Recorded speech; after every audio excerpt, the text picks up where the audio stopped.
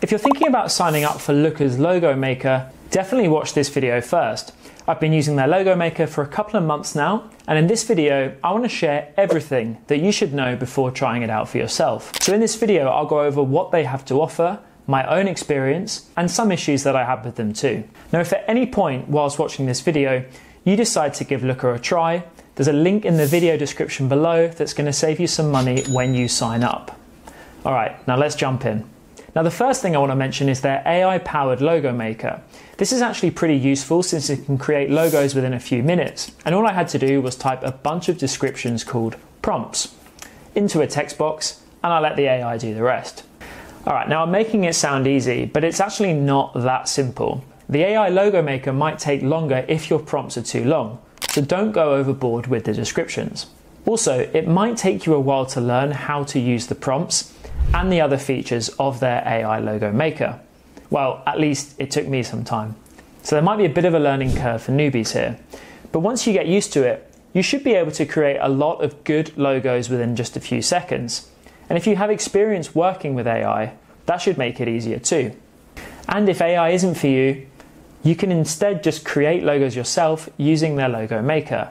They even have this brand kit feature to make it easier. It's basically a compilation of 300 plus branded templates that you can choose from. Now you can edit these templates as much as you want, so you don't have to start your logo from scratch. But of course, you can do that if you want to. Also, their user interface is pretty simple and intuitive. So even if you're completely new to logo makers, you can basically just start creating right away. Now, the logos you make from Looka are royalty free, so you won't be charged with copyright strikes or have trademark issues if you use them. They're all royalty free. Also, the logos you make have lifetime support, which means you can change them and edit them anytime in the future. All you need to do is contact Looka's team if you need help with this.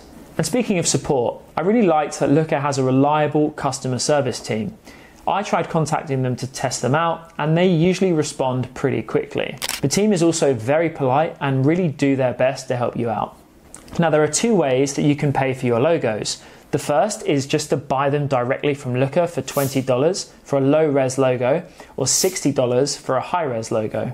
But if you want more than one, or you might need more logos, or you think you might need more logos in the future, I would instead recommend you subscribe to their brand kit subscription. Now, it's a little pricey, it's around $96 per year, but you can make unlimited logos while you're subscribed. You can also choose their $129 subscription and you get an AI generated website for an additional $33. This is a pretty good feature. But while I didn't get this for myself, judging by other reviews, the AI generated website is really good and saves you the trouble of creating a website from scratch. I do wish they'd offer monthly subscriptions though, since I prefer a little bit more flexibility and to pay less in one go. But even if they don't, the annual pricing seemed pretty reasonable to me considering the features and the unlimited logos and everything else that you get. So, if you decide to try out Looka, then don't forget to take advantage of the link in the description below this video. It's going to get you a nice discount.